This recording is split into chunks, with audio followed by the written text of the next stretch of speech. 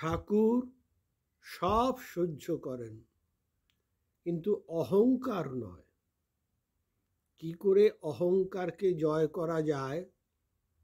মনন মাধ্যমে সৃষ্টির বিশালতা শ্রদ্ধা করে, যেখানে নিজের অস্তিত্বকে খুঁজে পাওয়া যাবে না।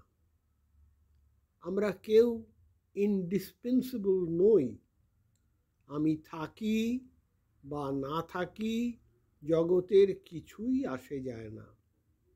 আমরা কেবল নির্ধারিত কর্তব্যটুকু মনে রাখলেই সৃষ্টির শক্তির সত্তা কৃপা করবেন।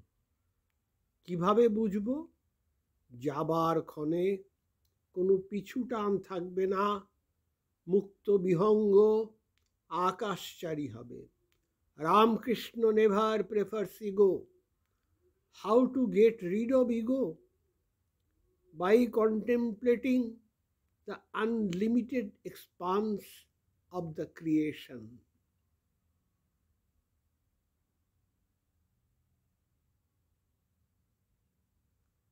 Of the creation, of the creation. Jabar, at the time of leaving the body, we shall not have any temptation to continue further.